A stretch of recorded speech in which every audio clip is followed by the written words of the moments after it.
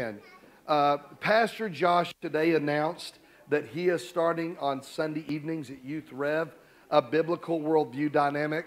Uh, I think it's amazing when you look and you do statistics and you see that in the Church of America, 6% of American Christians have a biblical worldview.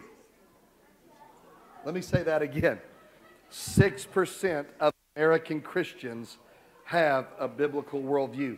And so uh, we're going to do that on our Wednesday night Bible studies. One of the things, as we've just finished and wrapped up the Biblical Citizenship Bible study, he kept pointing out it's the lack of a biblical worldview. And so I, when the Hope Center girls come back on Wednesday night, I want to begin that teaching about a biblical worldview with them. But I found out this, this week on Wednesday, Carolyn let me know that you guys aren't going to be able to come back till April the 13th. Okay? So I'm doing this with intentionality. Okay? So that's like nine weeks away. Amen?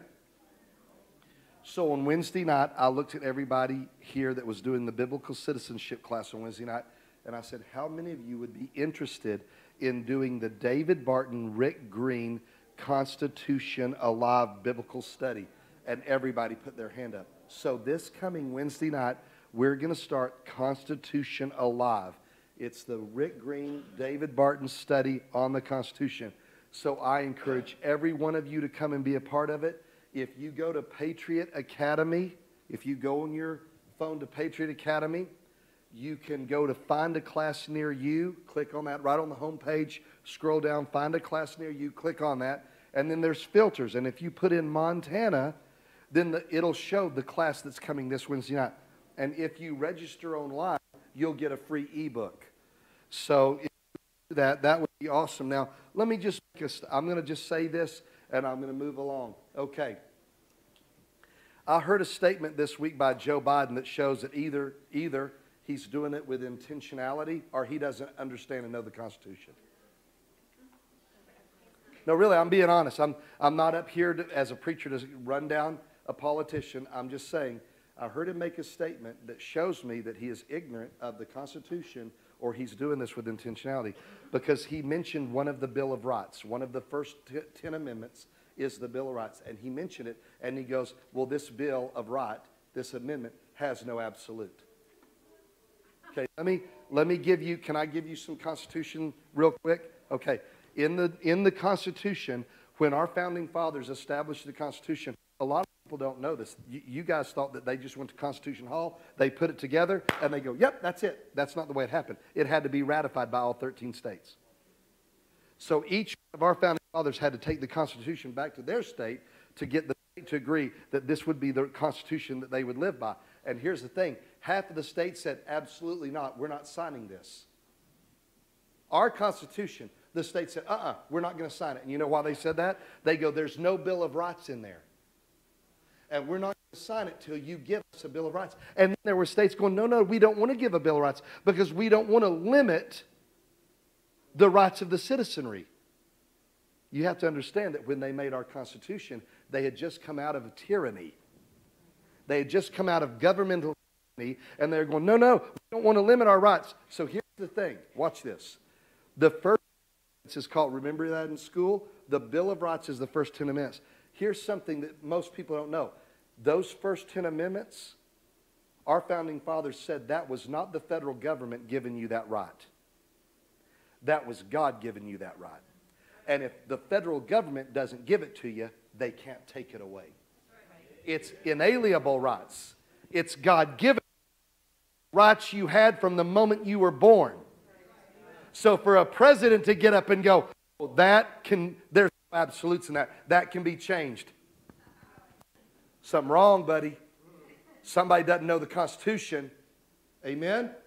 And so I'm encouraging every American to revisit the Constitution.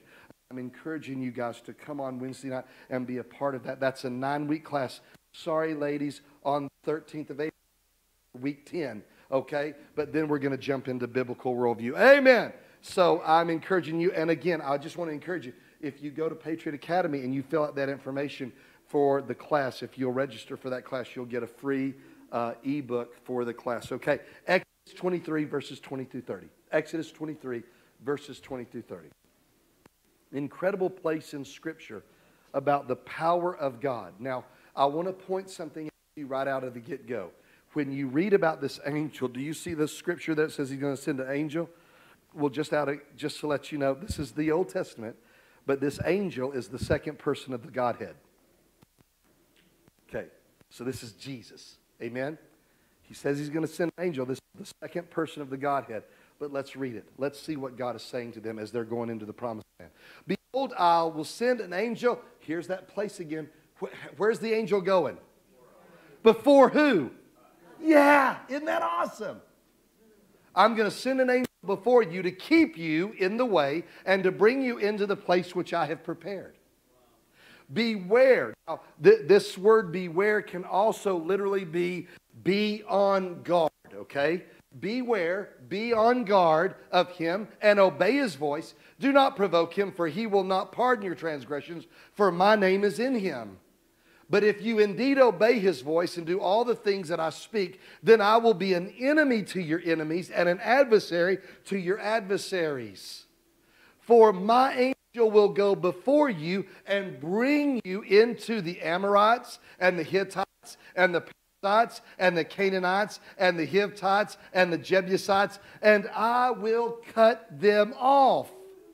You shall not bow down to their gods, serve them, nor do according to their works, but you shall utterly overthrow them and completely break down their sacred pillars. So you shall serve the Lord your God. Now, I want to point something out to you about this verse real quick. For 10 years, when I go to my mom and dad's house and visit them, when I open their refrigerator door, this verse is on magnets on their refrigerator door. Pretty cool verse. You shall serve the Lord your God, and he will bless your bread and water, and will take sickness away from the midst of you. Amen. You might want to put that on your refrigerator door. Amen. No one shall suffer miscarriage or be barren in your land, will fulfill the number of your days. I will send my fear before you, and I will cause confusion among all the people to whom you come, and I will make all your enemies turn their backs to you, and I will send what? Let me say. I will send what? You keep reading that because I want to say something. This was written, this is the book of Exodus. Now, Jackson, that tells me this book was written a long, long, long, long, long, long time ago. Wait, how long? A long, long, long, long time ago.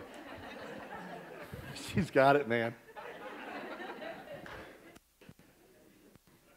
In the 64, when Israel was invaded, the Syrians came in with T 74 tanks, Russian tanks. They came coming in from the north. They came into Israel. The Israeli soldiers did not know this, this was a seven year war. The Israeli soldiers did not know what to do as all these tanks were coming in. And all of a sudden, as they were monitoring them and watching them as they were coming over the borders into the land of Israel, all of a sudden they noticed that all of a sudden the tank crews began to jump out of their tanks and start running back to Syria. I'm not making this up, man. And later on, the Israeli army found out that Hornets attacked the T 74 tanks and got into the tanks, and the crews were jumping out of the tanks and running back towards Syria because the Hornets were tearing them up. See that? See that? I'll send what? Hornets. I mean, you, have you ever been stung by a hornet? Listen, it hurts. No can of raid was going to stop these hornets. Amen. I will send hornets before you, which shall drive out the Hivite, the Canaanite, and the Hittite from before you. Now, listen, how many of you know the verses I've just read to you are talking a lot about victory? Amen. Right? But the next couple of verses just kind of make me go, what? Have you ever read the Bible and went, what? Look at this. I will what? Not. Isn't that interesting?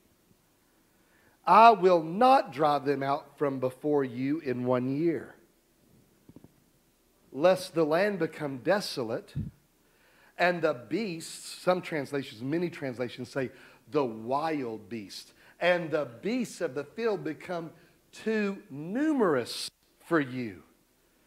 Now, to me, there's a key here. There's something about this.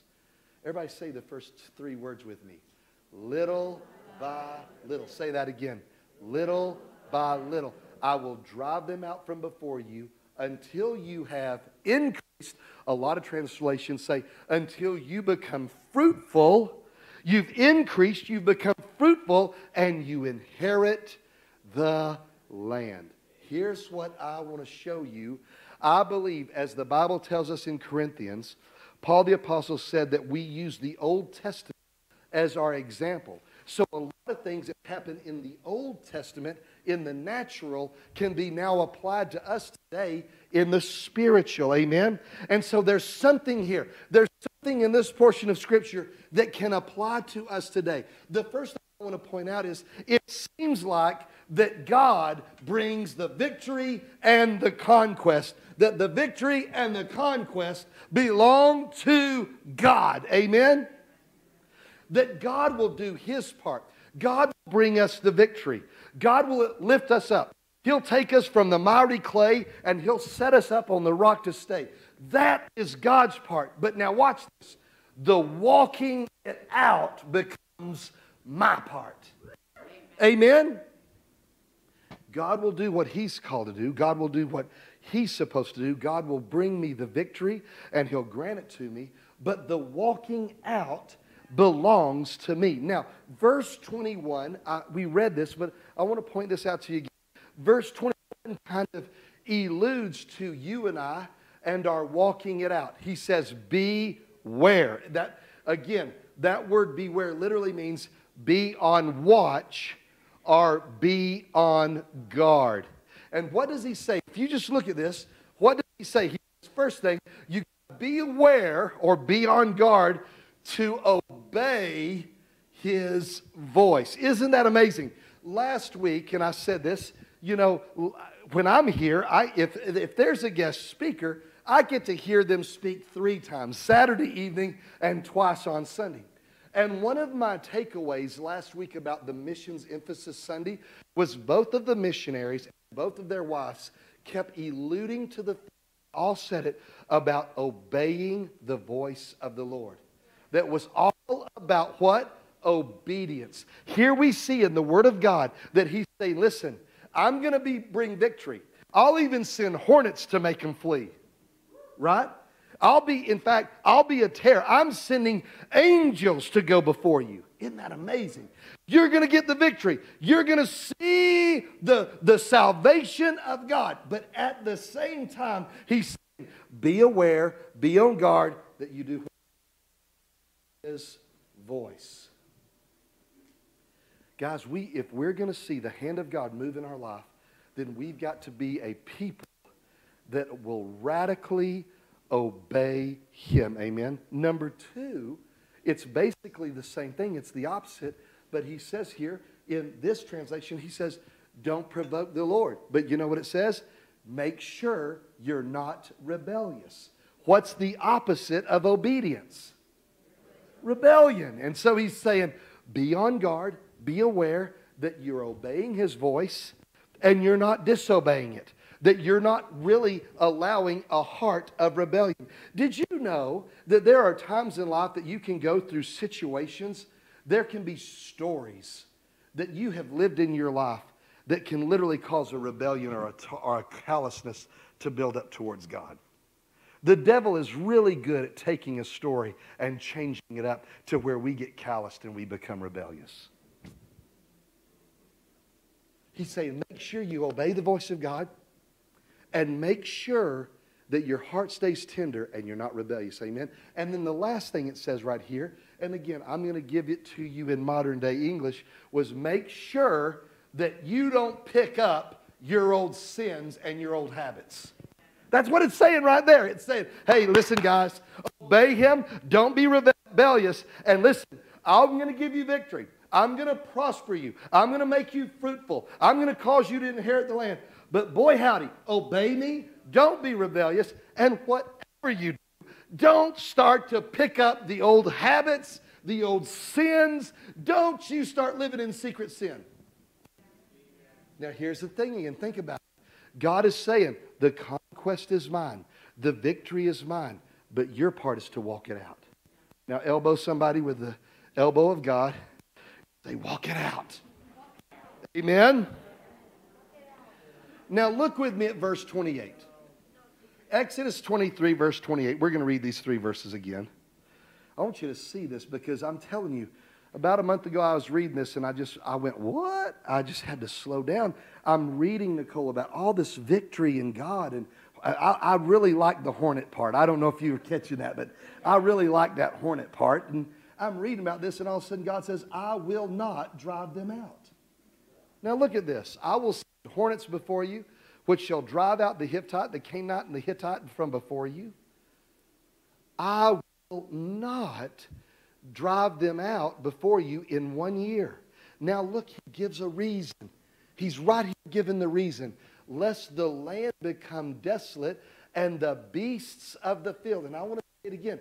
Many of the translations make sure they add the wild beasts of the field. Now, this region of the world, did you know they have lions? Did you know that they have leopards? Did you know they have different kinds of bear? I don't know about you, we got grizzlies here. And me and my son on our mountain bikes on a Sunday afternoon a couple years ago rode up on a grizzly bear. Both of us hit our brakes really quick. I will never forget seeing that bear running down this trail and looking back, and his fat was doing like this. And he was running. And my son went, Dad, what are we going to do? And I go, I'm going to tell you what we're going to do. We're going to turn around and go back to the truck. And we were 15 miles up in the mountains. I'm like, we turn around right now. we going back to that truck.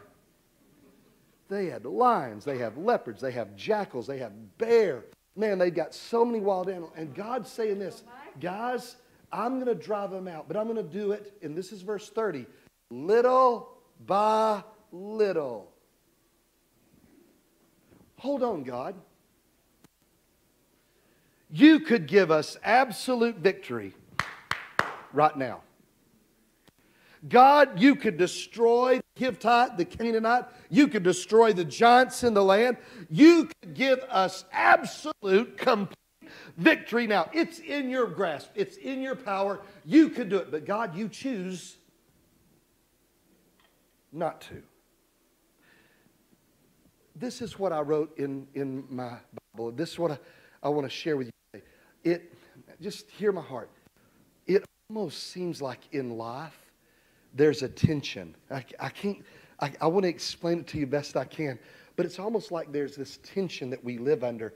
And this tension is we live under having victories from God and then sometimes defeats it's almost that we live under a tension of victory and sometimes discouragements. Maybe you're not there. Maybe you're like, oh, that's not me. I'm telling you, in my life, there is, seems like at times that there are great victories and great mountaintop highs, and then there's this tension of being discouraged and wanting to almost throw in the towel. Amen. You know what I've got in my notes right here in my Bible? This blessed place of tension, walking in the Spirit. Isn't that amazing? Even though it seems hard, and even though at times it feels difficult, guys, it can be a blessed place that we go to. Walk in the Spirit. We may not understand all the circumstances, we may not understand all the situations, but in this place of tension, there can be a blessed place of walking in the Spirit. Can I share just a few of these with you that I believe that we can see? I'm not going to drive them out in a year, lest the land become desolate and the wild beasts of the field take it over. But this is how I'm going to do it little by little. Everybody say that with me. Little by little. Wow. This is how I'm going to do it.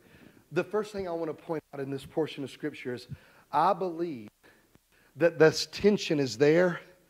I believe that this in life we experience this tension God always wants to keep within us an attitude of gratitude. God always, listen, I, I, I, didn't say this in the first service, but I, I can tell you story after story. I just, story after story. One of them is Joe Montana, but story after story of athletes that were so incredible. But when they have their children that are bigger, stronger, with a stronger arm, they never get to the accolades that their parent gets to. Because their parent was raised on the other side of the tracks. The parent had a hard, tough row to hoe. And something within having those hardships gave them a will to succeed and a will to win and a drive that the children that might, might have had it easy all their life, they don't ever get to that place. Isn't that true? Sometimes the hardships that you go through, you don't even realize they're for you to succeed into the future. Amen? God always wants us to have an attitude of gratitude. God always wants us to have a heart of thanksgiving. Let me read to you a place in the Word of God that so fits this. Go to Deuteronomy chapter 8, and we're going to look at verses 11 through 18. Deuteronomy 8, verses 11 through 18. God says, listen, I could have gave it to you on a silver platter, but that's not the way I'm doing it. And look at check this out. This attitude of thanksgiving, this attitude of gratitude. Beware. There that word is again. Be on guard. Beware that you do not what, guys? You look at this. Beware that you do not forget the Lord your God by not keeping his commandments, his judgments, and his statutes, which I command you today. Go to verse 12. Lest, now let's, let's watch this play out here lest when you have eaten and are full, and you have built what? Beautiful houses to dwell in. And when your herds and your flocks multiply, and what? Your silver and your gold. Remember, years ago when you were younger, it wasn't as easy. Come on. Your silver and your gold are multiplying, and all you have, what? Is multiplied. How many know this is the blessed life, right? When you're living in the blessed life, look what it says. When your heart is lifted up, forget the Lord your God, who brought you out of the land of Egypt from the house of bondage, who led you through the great and terrible wilderness, in which there were fiery serpents and scorpions, and thirsty land where there was no water, who brought water for you out of the flinty rock who fed you in the wilderness with manna, which your fathers did not know, that he might humble you, that he might test you to do, to do you good in the end. Then you say in your heart, Beware, be on guard. When you my power and the might of my hands have gained me this wealth. Look at verse 18. You ought to memorize this verse and you shall remember the Lord your God. For it is he who gives you the power to get wealth, that he may establish his covenant, which he swore to your fathers, as it is this day. Remember the Lord your God, for it is he who gives you the power to be in wealth. Don't forget, by his hand, he gives you the victory and the conquest. Amen?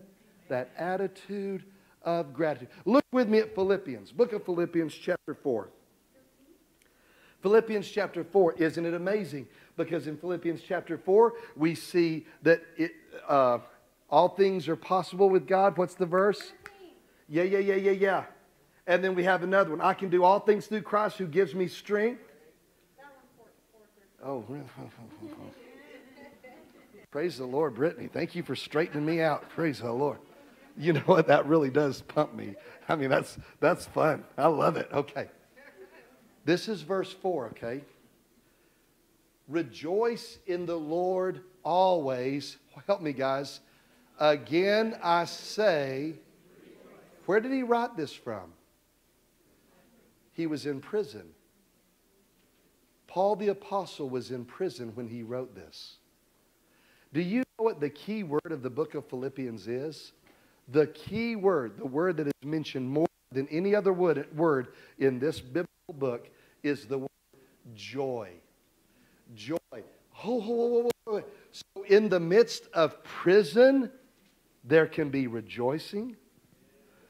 Are you telling me, Pastor, today, that in the midst of a dark valley, joy? In the midst of circumstances that seem to be difficult, somehow I can tap into the presence of God and I can have joy and I can be strengthened and I can be filled up. I'm telling you exactly that. Rejoice in the Lord always. Again, I say, rejoice. Verse 5. Let your gentleness be known to all men. The Lord hand.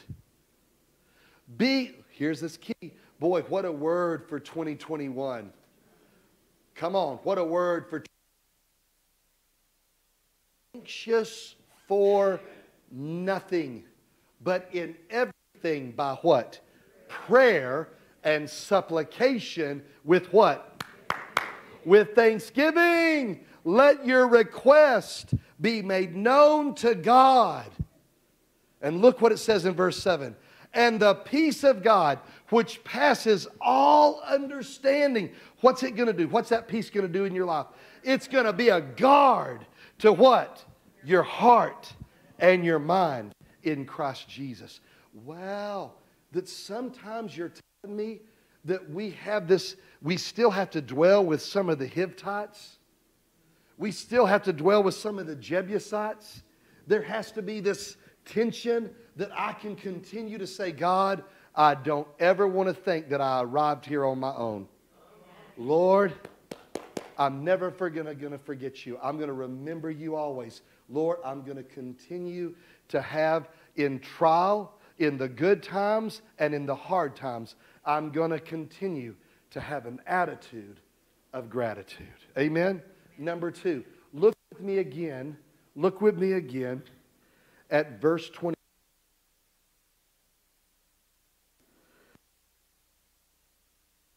Verse 29. Why would there be another reason that God would not just give you absolute victory right out of the gate? Why, why, why is there this whole issue that sometimes in life, now, not always, I'm telling you, when I got saved and filled with the Holy Ghost, it was like I was in absolute victory for a long time. Amen. I was on like cloud 9,000. Amen. Then some sooner or later I came back down to reality. Amen. What is this dynamic that he's not going to drive them out before you in one year? Lest the land, here's the reason, look at it again. The land become desolate and the beasts of the field become these bear, these lions, these leopards. They become too numerous for you. So I'm going to do it little by little. Let me tell you this. We got to have an attitude.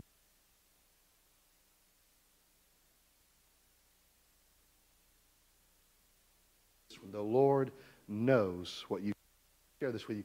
Go to Ephesians chapter 1, verse 7 and 8. Real quick, Ephesians 1, 7 and 8. Incredible place in the Word of God to me.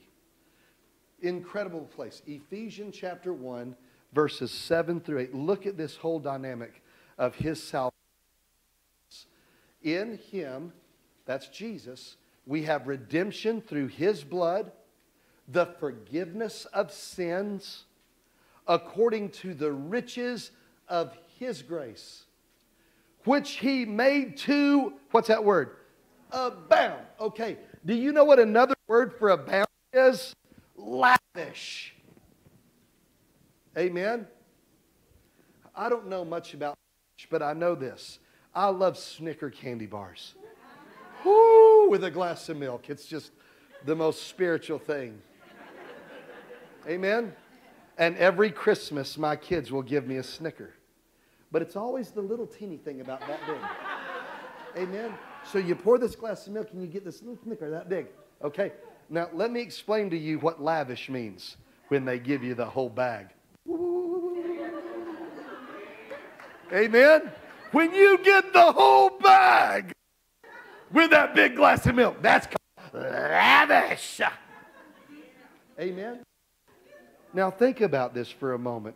Don't ask me why I just said that. How in the world do you combine? Do you know I've got to stand before God one day and He's going, You talked about salvation, you talked about redemption in the blood, and you compared it to Snicker candy bars. And I'm like, Oh, God, forgive me. Amen. I didn't say this last night. I didn't say this in the first service, so Snickers. Here's the crazy thing the Bible tells us that God upon us, and He did it in His blood, and He abounded it towards you. He lavished you with His salvation. He lavished you. This is hard for me to think. Uh, really, with, with all holiness of God, with Jesus, the King of glory, to think that He lavished His blood on me. I think His blood is very precious. Come on. He lavished it. He abounded it upon me. And now look what it says here. He did it in all what? Wisdom and prudence. Can we break that down for a minute? Let's look at the word prudence for a minute. The word prudence means to be shrewd in business dealings. Come on, look at that word right there. Prudence. Shrewd in business dealings. Uh, about a year ago, last summer, I got to go to Six Flags. It's a big theme park. I don't know if you've ever heard of Six Flags. But there's this ride, and I love to ride it. It's called Carson the Sombrero. I love to ride the sombrero. So I looked at Colton. I go, Colton, Colton, let's go. Let's go, Colton. Like a little kid. I'm like, let's go ride the sombrero. Let's go. And so we go to get to the sombrero. And as we're in line to ride the sombrero, the little work booth, the little station where you turn the ride on and turn the ride off, you're walking by it and I noticed a sign in the workstation. Now, how many of you know that the average age of somebody that works at a place like theme park is probably 16 to 19. I mean, the main staple of workers there are about 16 to 19. And there was a sign, this little work booth, and this is what the sign said. It says, if you're caught on your phone, you're fired. And when I saw that phone, I was like, that is awesome, which showed. And I took a picture of it. Yes, I'll show it to you after church. If you're caught on your phone, get out of here, man. Now, I want you to think. We've got some people in this church right now that own their own business. Think for a minute because the, the scale of wages have gone up. And it's been hard to hire some people. What in the world? What if, what if you were a business owner and you were now offering to pay people $17.50 an hour for their work? Let's think about this. There's, again, there's people own businesses in here, but everybody pretend like you own a business. And what if you said, look, I'm trying to get help. This is what your job entails. This is what it is. You get a break. You get lunch, you get a break. You can be on your phone then. Then you get two more hours. You're on a break, and then two hours later you're, you're quitting. You know, you know the, you know the, okay. All you got to do is do this. I'm not asking you to kill yourself. Just be faithful. Just work hard. You know, I'm not a taskmaster. And what if you, you, you hire this person? That, yeah, yeah, man, 17 now, yeah. And so you hire them and you walk away and 15 minutes later, they're on their phone telling everybody that they're making 17.50 an hour. and you're like, yeah, remember I asked you not to be on your phone? Oh, yeah, yeah, yeah, thank you, yeah, yeah, yeah. And, and then, then, you know, 10 minutes later, you go back and they're going like this.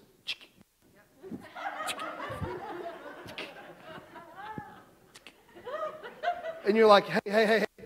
No, no, remember, I'm paying you this. I need this, this truck loaded and I need you to get this done. Would you? And they're like, oh, yeah, yeah, yeah. I just, I'm just excited. And so you leave and you come back and they're on their phone again. And you're like, hey, could you put the phone up, right? And so then you come back and you can't find them and you're looking for them and you notice the men's bathroom door is closed. You can hear the fan on. 30 minutes later, they're still in there. Can you get off your phone? Come out to work. Come on. Come on. How many of you would keep an employee like that? How many of you wouldn't work that person very long? Look, I don't think this is working. Come on, right? If you're shelling out 17 work done, how long are you going to keep that person? Let's be honest. That's being prudent. How many of you think God's prudent? I mean, the God of heaven, Jesus, the King of glory, is a prudent God. Now look at this. The Bible says that not only did he lavish his salvation and his redemption and his mercy and grace towards you in prudence, but it says he did it with wisdom. What's part of the wisdom of God? Part of the wisdom of God is he's omniscient, which means he's all knowing. So listen now, watch this. That means that God saw the future and God saw when you would stumble. And in his prudence and his wisdom, he still lavished his salvation and his mercy and his grace on you. You know what that tells me, guys? That tells me God believes in you. Look at somebody go, God loves you and believes in you. I got a Hoyt bow. It's awesome. Killed a lot of elk with it.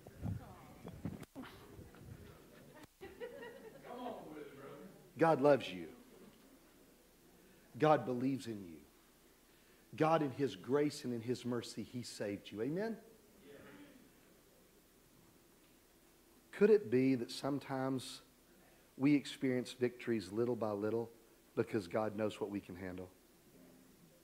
Go with me to 1 Corinthians chapter 10, verse 13. Man. Man. You know when they prayed that the sun stood still in the Bible and the sun stood still?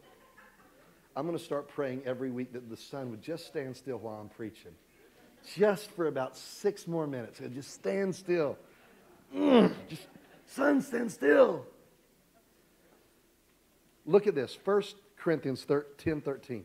No temptation. Everybody, if you're in your Bible and you've turned to this verse, the word temptation, write with a pencil or a pen right above that word temptation and write trial. In the Greek, it also means trial. It means a hardship that you've gone through. You follow me? No temptation, no trial has overtaken you except such what? It's common to man. We've all experienced these hardships. We've all experienced these trials. We've all experienced suffering, right? But God is what? In the midst of a temptation, in the midst of a trial, what is God? He is faithful who will not allow you to be tempted beyond what you are able, but with the temptation will also make a way of escape, that you may be able to do what? Come here, Anthony. I need your help. No, really. That's okay. I had Colton do it the last sermon. Come on, brother. And you're on Facebook, so there's there could be a thousand people watching you. Okay. Anthony, all I want you to do is stand here. As a Uni- University of Montana Grizzly fan, but a Christian, okay? So, everybody, here's Anthony. He loves Jesus. Okay. Now, just no, don't you leave. Thank you. Yeah, buddy. You got it, man. You got it. Okay, don't you move. Okay. Now, everybody look up at this verse again because I'm going somewhere with this. I'm just going to give you an, a, an analogy real quick. The Bible says, No temptation or trial has taken you, but such is common to man. But with that trial and with that temptation, when you're going through it, if you're not able to handle it, God will provide a way of escape. Do you see that? Okay, now watch this. How many of you know that in Ephesians chapter 6, the Bible talks about putting on the armor of God? And one of the things it says, take upon you the shield of faith. Remember that? And then it says this Nina, it says, whereby you may quench the fiery what? Darts of the devil. So here's the dynamic. I want you to understand. Anthony loves the Lord. He's serving the Lord. Yes, he likes the University of Montana. And maybe God likes Montana State better. I don't know. but he loves the Lord and he's worshiping the Lord. And the enemy, the devil's over here. And the Bible tells us that there are times that the enemy will fire a fiery dart at us. He will, the enemy will pull his bow back and he will put it right on one of us. Come on. That's what it says. And there are times that that enemy will let loose and he'll fire that arrow, he'll fire that dart. There are times in your life, and you never know till you make it to heaven. You will never know. There are times that the enemy fired a arrow at you, a dart at you, about to hit you, God went like this, and he caught it and he went. He couldn't handle that one. I will not let that arrow hit him. You know what that tells me? That tells me that when we do get hit by an arrow, that God knew that arrow would hit us. And God allowed that arrow to get by. So, you know what that tells me? That when I am hit with that trial or temptation, God's looking down going, He can handle that one. That's going to make him stronger. That's going to, that is going to strengthen him to minister to other people that are going through the same thing. Come on. He's going to be a mouthpiece of deliverance and freedom when he walks out the other side of this. I have allowed this one to hit her. I've allowed this one to hit him because this arrow's not going to make him a victim. This arrow's going to make him a victor. Amen? Give him a hand clap. Just sit down. God bless you.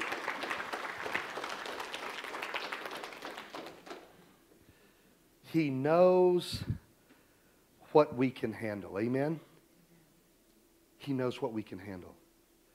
And he can see the other side before we can see the other side. We don't see how we're going to get through the other side, but he can see the other side. Number three, real quick. Wow, wow. Earth, stand still. Number three, I believe that sometimes the enemies aren't driven out of our land so quickly because he wants us to radically trust in him. Amen? He wants us to have radical trust in him.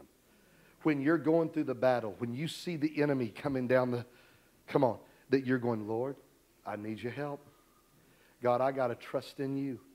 Lord, I need, how many have ever been in a business situation and you're like, Lord, I, I didn't expect this to happen. I didn't expect, Lord, I got to trust in you. I got to trust. Proverbs, Proverbs chapter 3. I love Proverbs chapter 3, verse 5 and 6. But like this trust in the Lord with all your what? Heart. heart. Do you see that scripture up there? Trust in the, not half your heart, but what? All. all and it says, lean not in your own understanding. But no, now come on, come on. We're American Christians. So that translation in America is trust in the Lord. It sounds so beautiful to quote that to people. Trust in the Lord with all your heart. Lean your own understanding. Come on. We can quote this verse, but when the truth hits, when the rubber hits the road, we want to try to lean in our own understanding, don't we? We want to try to figure it out ourselves. Come on. We, we want to put our trust in what we can do. I've got myself out of this mess before. I'm going to get myself out of this mess again. And God say, no, no, no, no, no. The word says, trust in the Lord with what? All of your heart. Hey, hey, even when sometimes your heart doesn't feel like it.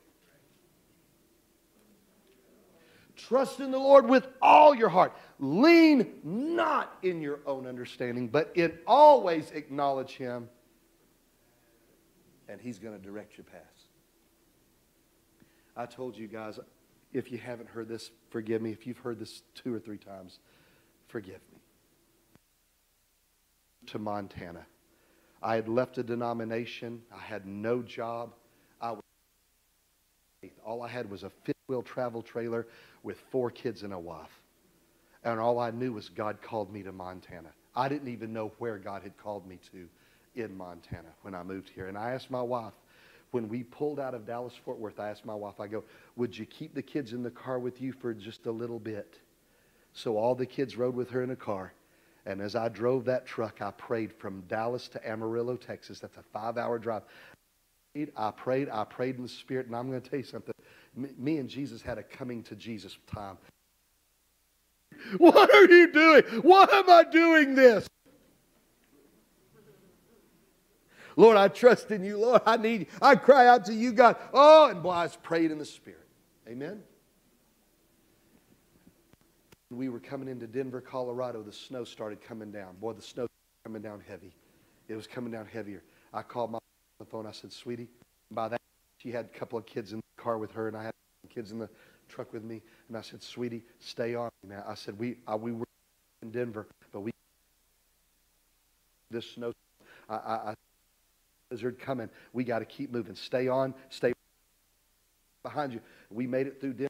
Made it through Fort Collins, Colorado. By the time we get to Fort Collins, Colorado, you can't see from here to the front doors of the church. The snow's coming down so hard. The traffic's slowing down. And we finally make it to the, the Colorado state line. And we're coming into Wyoming. And there's a, I didn't know it till this trip, but the, there's a grade, there's a gradual climb from the state line all the way to the city of Cheyenne. There's this gradual climb for about 10 miles, and all of a sudden the traffic started backing up, and I, and I came to a stop on the highway, man, in a blizzard. I'm at a complete stop, and, and then the, the traffic starts moving forward, and I put the truck back in gear, and when I let off the clutch, the tires start spinning like this.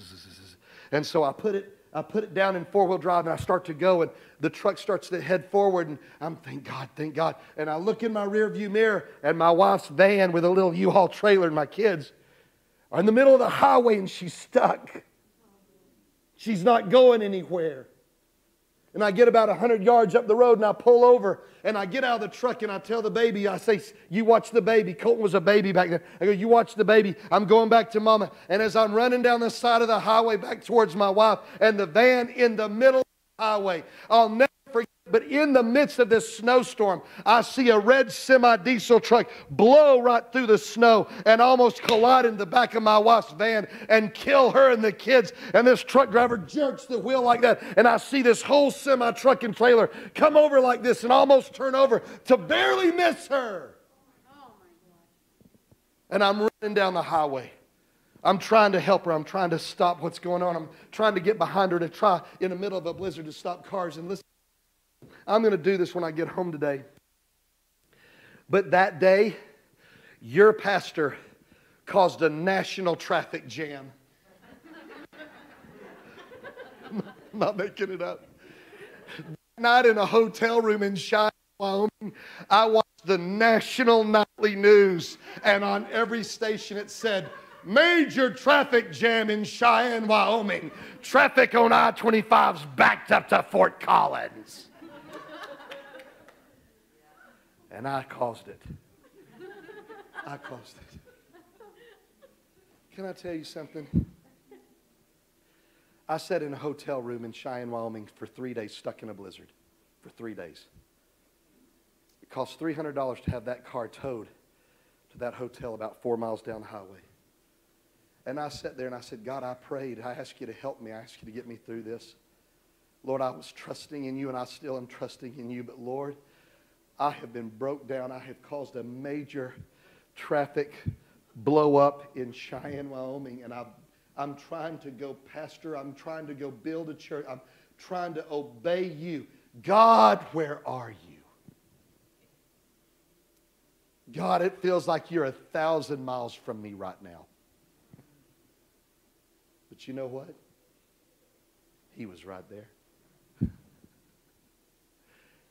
He'll never leave you, and He'll never forsake you. And you know what the Word of God says in Matthew? Lo, I will be you always, with you always, even to the ends of the world. When you are in a blizzard in Cheyenne, Wyoming, and you have caused a 50 mile traffic jam, God will be right there with you. Even when you don't feel like He's there with you, He'll be there with you. Amen? There's this tension because God wants us to radically trust in Him. Look what Psalms chapter 9, verses 9 and 10 say. Look at this. Psalms chapter 9, verses 9 and 10. This spiritual tension that's always there. And those what, what's it say right here? Oh, well, the Lord will also be, with, be a refuge for who? Who's he going to be a refuge for? A refuge in time of what? Even when you don't feel like in that troubled time that he's there. He's there. Come on. And those who know your name will put their trust in you. For you, Lord, have not what? Forsaken those who seek you. Let me tell you a story. When I was a little boy, I was raised in the Nazarene church. And as a little boy, I, I remember hearing a story of a the missionary told, and I was, I was a little boy, I, I, I remember, it, but it stood out to me. But this missionary said, I had a backpack on and I had medical supplies. I had medicine to get to a little village somewhere in the remote part of Africa. And he said, I was trusting in God and I was trying to get the medical supplies to the people. He said it was hot. I was tired. I would not quit. I, it was like a backpack hike, man, for miles and miles. I would not stop. I had to get the me- medical supplies to those people. They needed it. They needed Jesus. They needed help. And he said, I made it all the way to the river. And when I got to the river, I, I realized it was the time of year that the river was swollen and the waters were torrential going down the river. And I, there was no way I could cross. This missionary said, I got on my knees and I closed my eyes and I said, God, I need your help. I don't know what to do. Lord, everything within me is gone. I am so weary. But Lord, I cannot cross this river. Lord, you know the need. Lord, I need a miracle. And while this missionary was on his knees with his eyes shut, he said that he could hear the water rushing through his left ear. And he said, as he was crying out to God for a miracle, he began to notice that the water was now rushing on his right side of his ear, right over here. And he opened up his eyes and he looked and he was on the other side of the river. God had moved him from one side of the river to the other. Listen, if he can do it in the book of Acts at Azotus, he can do it for a missionary bringing medical supplies to a village in need. What he's needing is a dynamic t- attention, attention in our lives that keep us trusting and calling out on the Lord. Amen? Number four, I'm going to close. Ushers, if you'd make your way up, we're going to take communion.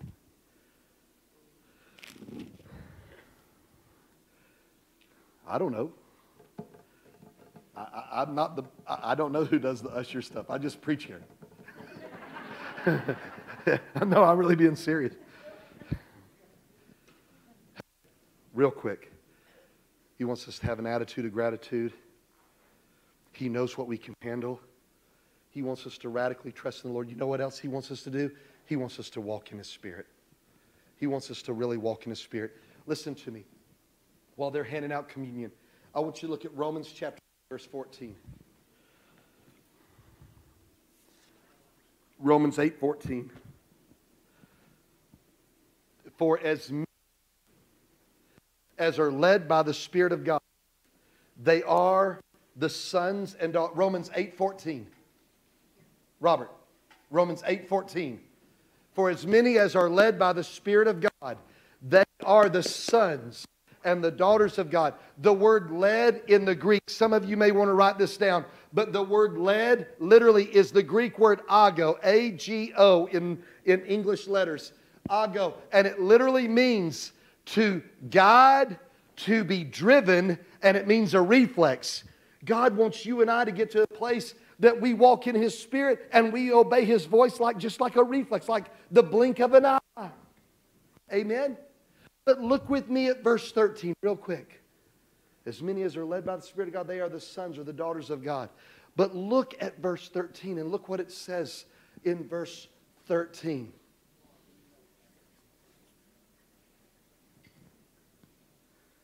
If you're late and you leave here late, don't blame me, blame, blame Robert, okay? It's not because I preach long. It's okay, now I'm messing with you. For if you live according to the flesh, you will die. But if by the Spirit you put to death the deeds of the body, you will live. Then verse 14 says, For as many as are led by the Spirit of God, they are the sons and daughters. The reason I say sons and daughters is the word son is generic neutral. Okay, so it means sons and daughters. You know what these two verses show me? That walking in the Spirit is your choice. You can choose to walk in the flesh, or you can choose to walk in the Spirit. It's up to you. Amen? Go, go to Galatians chapter 5. This time we don't have to read it backwards. Galatians chapter 5, verse 16 through 18. Another place in the Bible talking about walking in the Spirit. Galatians chapter 5, verses 16 through 18. I say then, walk in the Spirit, and you shall not fulfill the lust of the flesh. For the flesh lusts against the Spirit, and the Spirit against the flesh. And these are contrary to one another, so that you, not, you do not do the things that you wish. Here it is again. But if you're led by the Spirit, you're not under the law or religion. Thank you, brother. See that? God, God says, I desire you in the midst of this to walk in the Spirit, but the choice is up to you. Isn't that amazing? Now we're going to read one other verse and we're going to take communion. I want to show this to you as we close because I believe this is a word directly for many of you in this room. Exodus chapter 23, verse 20. It's the first verse I read today. It's the first verse I read today, but I want to highlight something to you that the Lord highlighted to me. Exodus 23, 20. Everybody see that? Behold, I send an angel before you to keep you in the way. Now, this is the word. This is what the Lord highlighted to me. To bring you into a place which I have prepared for you. Let me say that again. The Lord wants to bring you into a place that He's already prepared for you. The Lord, listen, little by little. Some of you in here right now might still be struggling with temptation. And you know what the Lord's saying? Make little by little. Little by little. I'm not driving by there anymore. I'm not going down that road. I'm not going into that neighborhood. Little by little. By little. You know, we're going to start reading the Word of God every night before we go to bed. It may not be more than a chapter, but we're going to get in the Word every night and we're going to say a five minute prayer. Come on. Little by little. Listen, last week Toby McGill said God asked me to give him all my spare time. I didn't know how I was going to pray two and a half hours, but that's not the way it started for him. It was little by little. Wait a minute. Some of you in here, you're not struggling with temptation. You just don't know how to walk in the prophetic yet. And so, you know what the Lord's saying? Little by little. When you're walking into Safeway, just say, Holy Spirit, do you want to highlight somebody, someone for me to pray for today? You know what? You'll say something like that. You'll say, Holy Spirit, if you just, if you're, if, and be in the, you'll be pushing your bag, and all of a sudden somebody will drop the potatoes and they'll fall right out of the bag. The, just a big old tail happen, and you'll go, Here, let me help you with that. And you start helping with it. And once you give them to her and they think you go, Hey, listen, you know, could I just pray with you today before? Really? I've been going through this. Little by little. Pastor, I'm scared to talk to somebody like that. I'm scared to go to somebody and speak a prophetic word into their life in a safe way. Okay, do it at Walmart. No, but no. Listen, Holy Spirit, I want to operate in the gifts of the Spirit. Lord, let me pray for my husband. Hello. Lord, stir something up where I can give my own daughter a word. Come on, it doesn't have to be a stranger at a store. Hey, it's, listen, it's little by little to bring you to a place which I have prepared for you. Amen? God wants to bring you to a place that He's prepared for you. Can I say this to you before we take communion? Fulfill your purpose. Make up your mind you're going to fulfill your purpose. Fulfill your destiny. Fulfill your destiny today. Don't you let the devil hold you back from your purpose and your destiny. You make up your mind today. It may not be a big leap. Come on. It may not big leap. It's just by little. All you men that used to work out and lift weights in football, you don't add 45 pounds on each side when you're trying to get a max. You just, when you start increasing, that's why they make a little two and a half pound. Come on, right? Right? You don't go, whoa, I barely could get that one up. Throw 90 more pounds on there for me. It's not the way you do it, do you? Can get up, I think you could add some more. It's a two and a half pound on each side. In fact, I've seen and a half pounders. Amen? Little by little by little. Amen? Let's take communion. Bible tells us in 1 Corinthians chapter 11 verse 23. It's one of the main places in communion. And it says that during this time of communion, this is what it says. It says, let each man, let each woman examine their heart. So, would you just bow your head with me right now? And would you just begin to examine your heart right now? M- maybe, maybe today you're the person that I said, Beware, be on guard that you become rebellious. And when I said sometimes you can become rebellious from circumstances and situations that have happened to you in life, maybe that's you and you're saying, Lord, I repent for that right now. Lord, I repent for that. I'm examining my heart and I repent of that. Maybe you're here today and, and he said, Be aware, make sure you obey the voice of the Lord. Don't you pick up your past sins. Don't you pick up your old idols. Maybe you're here and you've said, You know, I've picked up some old idols of late, and Lord, I repent of it right now. I'm examining my heart. I'm asking for this blood to cleanse me. Guys, do you realize? I, I want to say this again. Everybody, look at me real quick. I'm not trying to just keep preaching at you and, and for you to be here for a long time, but, but you understand what communion means. You understand that a young man would see a young woman in Israel and he would want to marry her. And so he would bring a dowry. He would bring what they call a ransom of money to the girl's daddy. And he'd go, Do I have your permission to marry your daughter? And if the daddy, he would give that money to the daddy as what is called a ransom. Then the young man, the young lady knew what was about to happen. The young man would go to that house and he would sit and she would be seated in, across from him lay down a little glass and he'd pour a little wine in it and he would slide the glass to the young woman. And if the young woman took the cup and she partook of it, she was saying, Yes, I will be in covenant to you and I will marry you. And as soon as she would say yes by taking a drink of the cup, the young man would stand up and go, I go to prepare a place for you. The young man would then go back to his father's house and he would build a bridal chamber. He would build a honeymoon suite on his father's house. But the Bible tells us that the father was the inspector of the job. He was the general contractor. And so the young man, we know the young man would throw up a wall like we've got over there and throw a tarp over it and say, Daddy, I'm done. I'm ready to go get my bride. But the daddy would go, No, you're not done. You got a long way to go, son. And that's why it's not for me to know the time nor the season the Father comes and sends me. But it is in the hands of the Father. So that's why it's so important that when we take communion and we remember the Lord, that we examine our heart, that we make sure that we're making this covenant with a pure heart. Amen? Bow your heads all over this place. Father, we come to you and we love you. And Lord, we know the blood, that blood, that redemptive work, that grace and that mercy that you abounded towards us in wisdom and in prudence, Lord, you've given to us. But Lord, we ask, cleanse our hearts, wash us Lord, some of us, we've picked up some idols. Lord, we throw them down right now at the foot of the cross. Lord, we throw them down. We say, Jesus, cleanse our hearts. Wash us in the blood of the Lamb.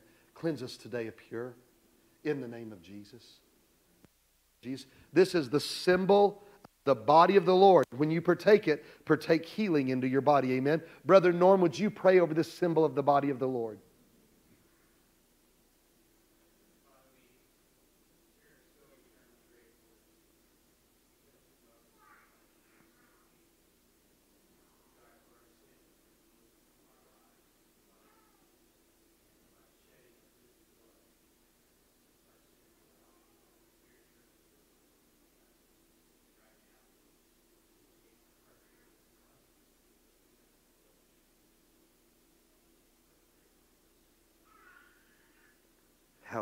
Let's partake of the symbol of the body of the Lord. And if you need healing, would you just begin to say, Lord, I, I, I speak healing over my body now? Let's partake. By your stripes, Jesus, we are healed. We are whole. And by your blood, we are forgiven. By your blood, we are washed. And we thank you for the blood. We thank you for the blood. Let's partake. In your own words, in your own way, can you just thank the Lord right now? Lord, we thank you. We love you. We ask you, Lord God, now, mercy, that we would step into mercy. Father, that you have gone before us. Lord, you've prepared a place for us. And now, Father, I pray that we would be fruitful and we would inherit our land in Jesus' name. Stand with me all over this place and give somebody a big Holy Ghost hug. Can you give somebody a big old, a big old Holy Ghost hug. Yeah, not big O, it's a O. Big O. Holy Ghost hug. Amen. God bless you guys. If you need prayer for anything, come on up to the front.